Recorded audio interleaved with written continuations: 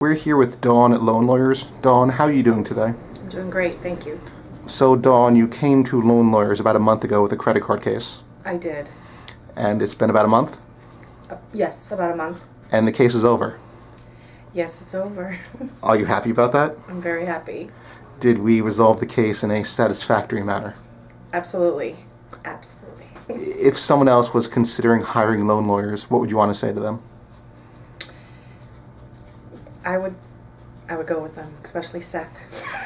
Well, thank you very much, ma'am, and have a good morning. you too, thank you.